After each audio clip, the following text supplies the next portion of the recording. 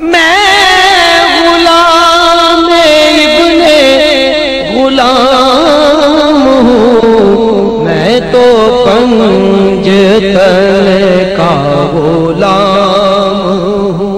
नाजरीन ब्रेक के बाद एक बार फिर बज़म नात में आपको खुश आमदीद कहते हैं। और आज मुझे बेशुमार खुशी हो रही है कि मैं कहाँ और इतनी बड़ी हस्तियाँ कहाँ। लेकिन ये भी मेरे नबी करीम सल्लल्लाहु अलैहि वसल्लम अल्लाह रब्बुल इज़्ज़त और पाँच तन पाक का एहसान है कि मुझे ये मौका मिला।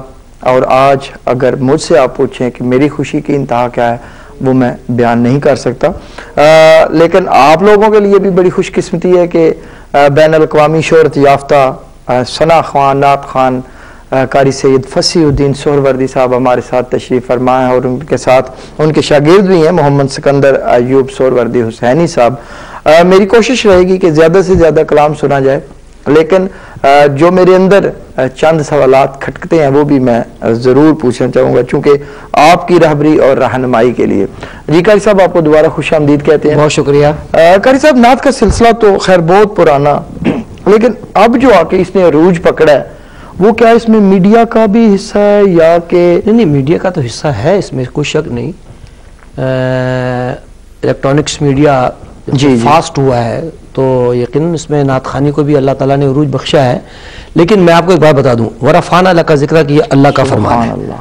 तो नबी करीम सल्लल्लाहु अलैहि वसल्लम का ज़िक्र ना किसी फर्द का ना किसी मीडिया का ना किसी अदारे का ना किसी शख्सियत का मोहताज नहीं है। आपके चाहने वाले मौजूद है मेरे साथ लंदन से बात कर जी। अस्सलाम वालेकुम वालेकुम सलाम बाबा जी की हालत इमरान भाई आपको खुश आमदीद कहते हैं कि इतनी प्यारी महफिल में आपने हाजिरी लगवाई है।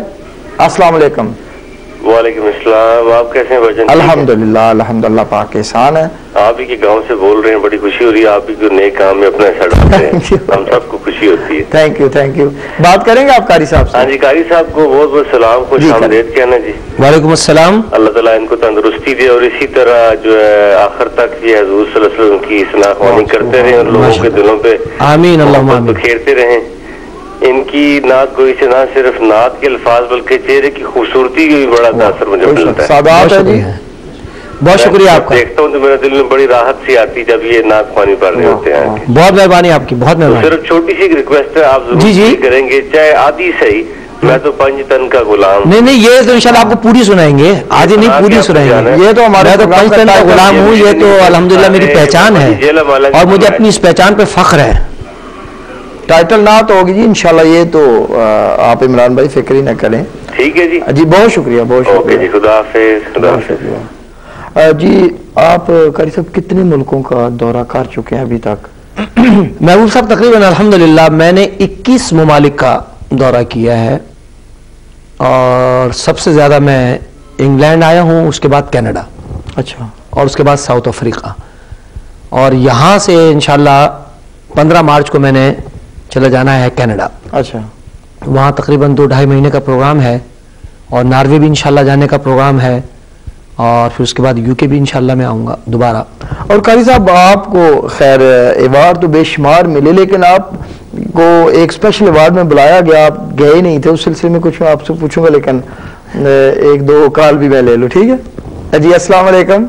वालेकुम भाई क्या हाल है? जी बिस्मिल्लाह कौन बोल रहे हो? जी मेरा नाम जुल्फकार है मैं लंदन से बोल रहा हूँ जी भाई जुल्फकार तो सुनो खुश आमदीद कहने आ मेहरबानी सरकार इस बार जी मैं जी शाह साहब है ना मेरे पसंदीदा नाथ खान ने माशाल्लाह सुभान अल्लाह ये ਤੁਹਾਡੇ ਤੁਹਾਡੇ ਚਾਹਣ कोई ऐसी कैसेट नहीं होगी जी मेरे को नहीं ना थी ਵਾਹ ਵਾਹ ਸੁਭਾਨ ਅੱਲਾਹ ਤੇ ਇੱਕ ਦਫਾ ਇਹ ਲੀ ਬ੍ਰਿਜ ਮਸਜਿਦ ਦੇ ਲੰਡਨ ਤੋਂ ਸ਼ੀਰ ਲਾਇਆ ਸਨ ਤੇ ਮੈਂ ਸਪੈਸ਼ਲੀ ਨੂੰ ਮਿਲਣ ਗਿਆ ਉੱਥੇ ਦੇ ਉਹਨਾਂ ਦਾ ਕਲਾਮ ਸੁਣਨ ਗਿਆ ਤੁਸੀਂ ਗੱਲ ਵੀ ਕਰ ਲਵੋ जी मैं गल कर रहा हूँ अस्सलाम वालेकुम वालेकुम सलाम शाह जी क्या हाल है खरीत है जनाब अल्लाह दी मेहरबानी ਤੁਸੀਂ ਸੁਣਾਓ ਕੀ ਹਾਲ ਹੈ ਖੈਰੀਅਤ ਹੈ ਅਲਹਮਦੁਲਿਲਾ ਜੀ ਦੁਆਵਾਂ ਸਰਕਾਰ ਦੀਆਂ ਜਨਾਬ ਨੂੰ ਜਦੋਂ ਵੀ ਦੇਖਣਾ ਦਿਲ ਬਾਗ ਬਾਗ ਹੋ ਜਾਂਦਾ ਹੈ ਤੁਸੀਂ ਮੇਰੇ ਪਸੰਦੀਦਾ ਨਾਥ ਖਾਨ ਹੋ ਜਨਾਬ बड़ी मेहरबानी जनाब बहुत मेहरबानी ਤੇ ਸ਼ਾਇਦ ਤੁਹਾਨੂੰ ਯਾਦ ਨਹੀਂ ਹੋਏਗਾ ਇੱਕ ਦਫਾ ਤੁਸੀਂ ਲੀ ਬ੍ਰਿਜ ਮਸਜਿਦ ਤਸ਼ਰੀਫ ਲੈ ਕੇ ਆਏ ਸੀ ਤੇ ਥੋੜਾ ਟਾਈਮ ਥੋੜਾ ਜਿਹਾ ਚੁੰ ਤੁਸੀਂ ਕੋ ਨਾਥ ਪੜੀ ਸੀ ਤੇ ਤੁਸੀਂ ਜਾਣ ਲੱਗੇ ਤੇ ਮੈਂ ਜਨਾਬ ਖੜੇ ਹੋ ਕੇ ਕਹਿ ਕੇ ਨਹੀਂ ਸਰਕਾਰ ਮੈਂ ਇੱਕ ਹੋਰ ਨਾਥ ਸੁਣਨਾ ਚਾਹਨਾ ਦਿਲ ਨਹੀਂ ਭਰਿਆ ਮੇਰਾ ਤੁਸੀਂ ਸੁਣਾਈ ਸੀ ਮੈਨੂੰ ਨਾਥ ਰੀਬ ਰੀਬ ਮਸਜid ਜੀ ਤੁਸੀਂ ਫਰਮ- ਤੁਸੀਂ ਜਨਾਬ ਨਾਥ ਪੜੀ ਸੀ या मुस्तफा खैर